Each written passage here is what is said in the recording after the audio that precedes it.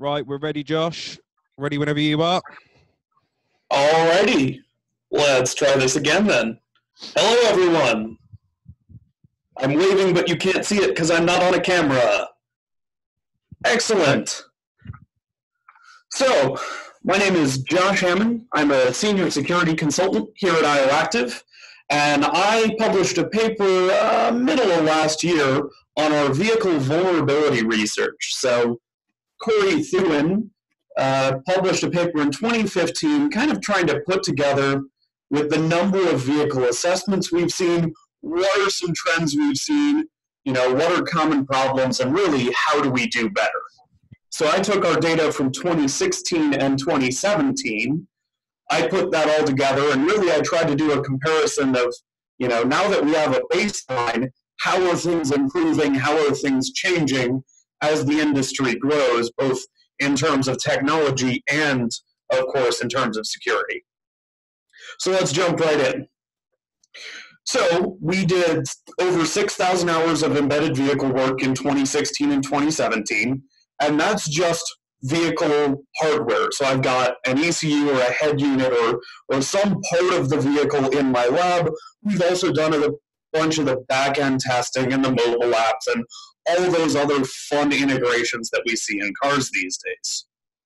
We've worked with a large variety of manufacturers and vendors, um, ranging not only from just you know a traditional pen test, but also talking through what is their security model, how are they trying to address modern problems, and then of course our work you can't really do just embedded work anymore the hardware has secure boot on there, and if I can break that, I can get into the application space. If I can get into the application space, then I can look at pivoting into their backend, into all the cloud connected things. So it really takes a, a large team with a lot of different uh, skill sets there to really assess these types of, of engagements.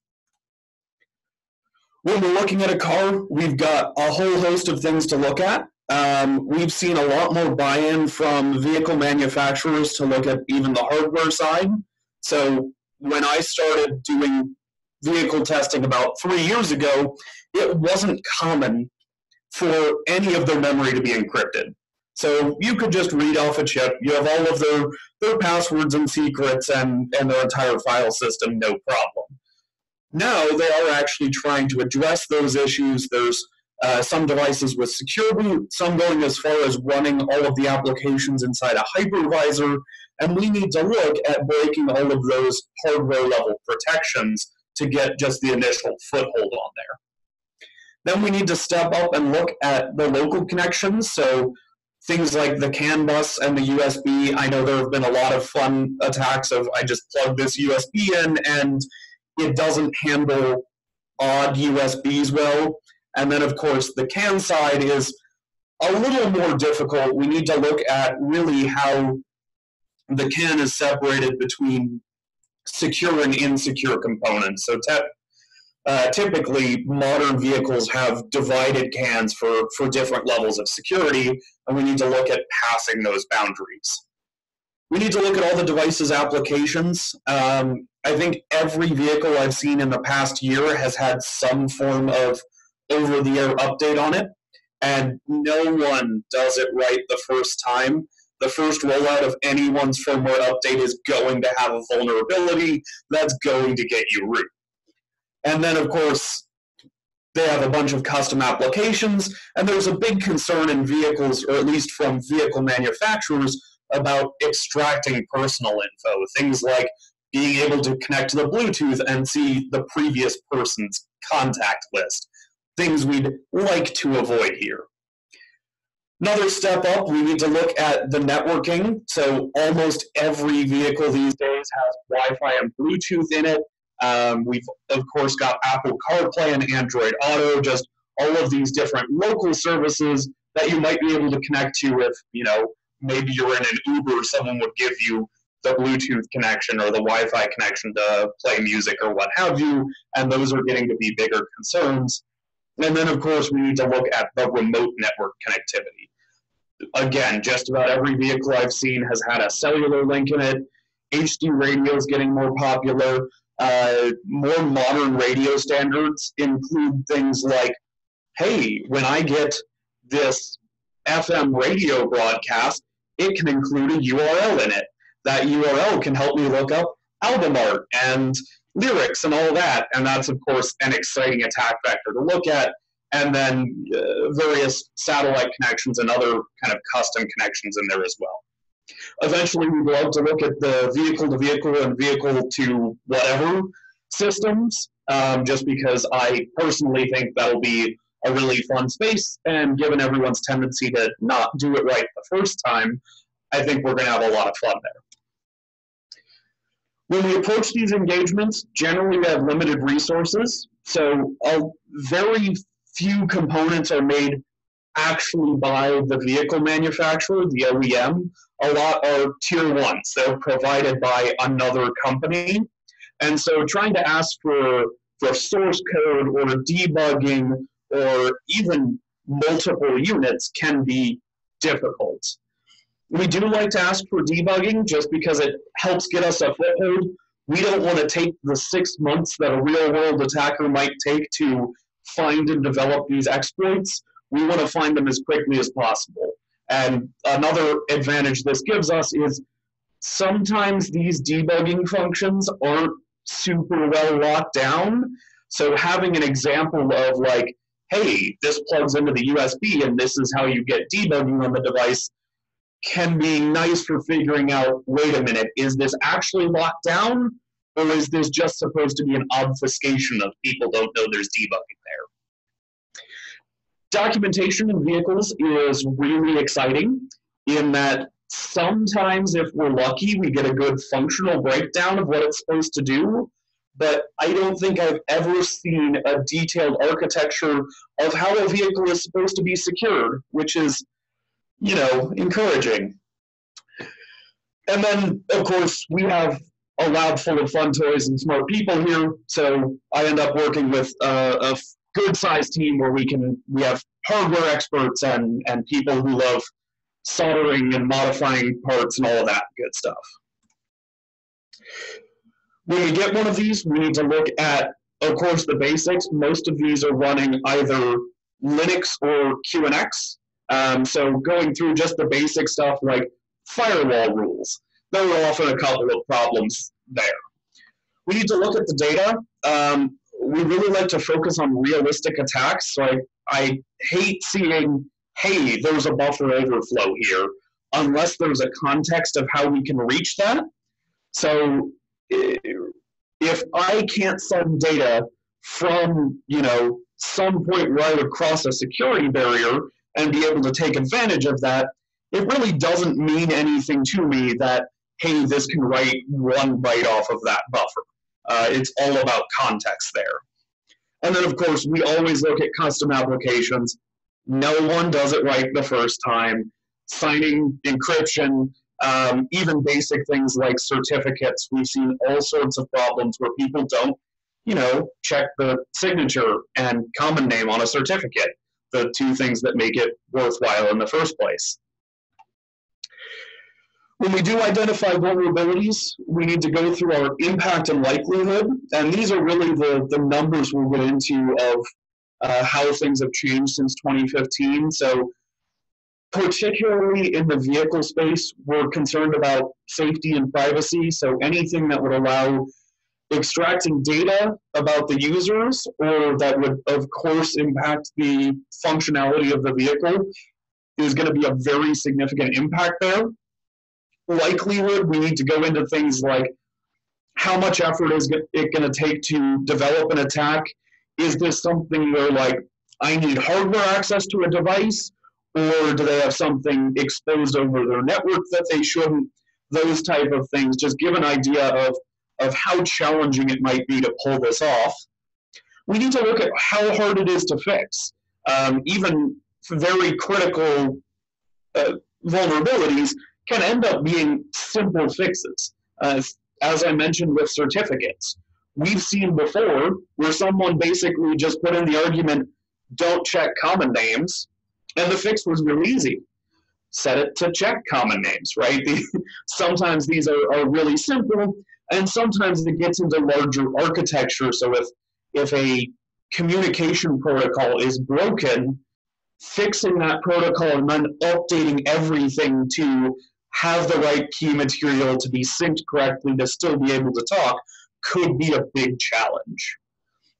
And then, of course, all of that is is great, but it's all about the details. When we go in and we describe a vulnerability, if it's not easy to understand, if there aren't clear steps on how we found it and how it could be found again and how it could be fixed, we haven't really done our job there. So uh, we love to go into just overboard technical details there.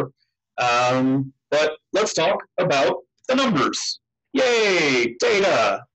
So we've seen a 15% decrease in critical impact. So of the vulnerabilities we found in 2016 and 2017 versus our 2014 and 2015 data, 15% less have a critical impact. Uh, the likelihood has increased in critical and low categories. So the medium category kind of went down and it shifted off to either side. Now, my thinking on this is that we've seen kind of two trends going on. One, vehicle manufacturers are trying to do security now. So some of the, the medium risk going down to low is just simple things like privilege separation. If I exploit your Bluetooth, I'm now on a Bluetooth user and not just running as root.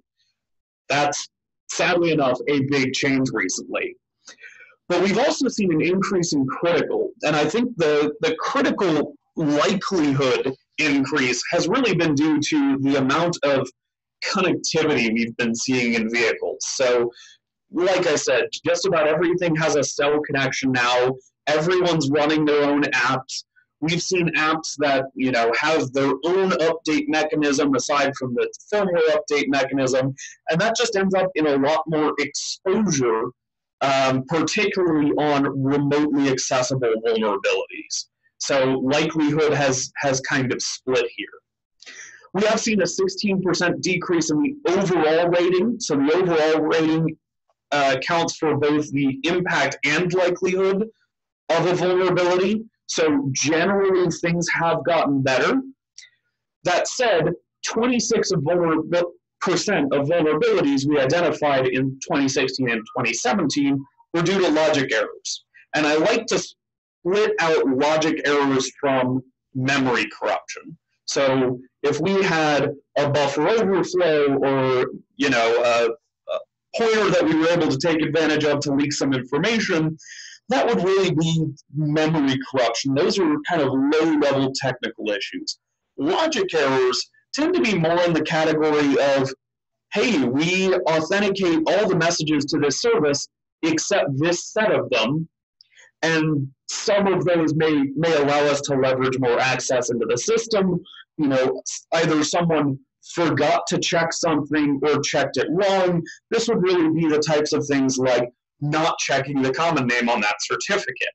It's really an, an error in how we design and implement the security controls rather than a, a really low-lying bug that would get us access to the running process.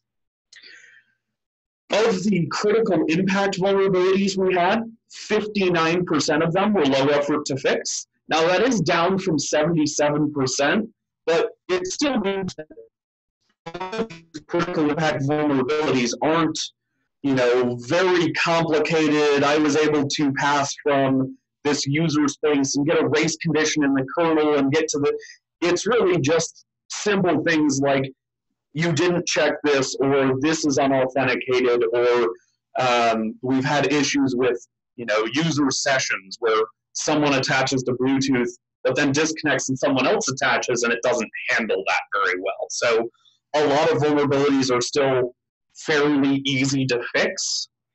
And then 41% of the vulnerabilities would really be fixed by industry best practices. So things like checking the common name, things like checking lengths of buffers to make sure you don't have an overflow, things that, you know, you could generally look up online on like, hey, what does secure coding mean? What do we need to, to check for here? Those types of fixes would fix a large number of, of the findings here. So, you know, there's still a lot of baseline work that needs to go into it. And that actually leads us into our next. What's the takeaway? So what's the, the sum here? Better design seems to be making vulnerabilities less damaging, so we see less things that can give you just easy access to either root access on the device or to the CAN bus and potentially have you know physical impacts there. We're seeing better tools kind of competing with stronger security. So things like working with QNX. I've got a whole large tool set. They're readily available online. I can I can load them up and do a lot of my assessment very quickly, which makes some of these vulnerabilities easier to identify and uh, a lower barrier to access here. Better coding and security view review would help prevent a lot of these issues. So things like having secure coding standards, both in the OEM and in the tier one uh, hardware providers, would fix a lot of these issues before they even came up. And then network connectivity and new wireless protocols in particular are making for a more complicated environment. So especially as we start getting into the the V2X, the vehicle to infrastructure area,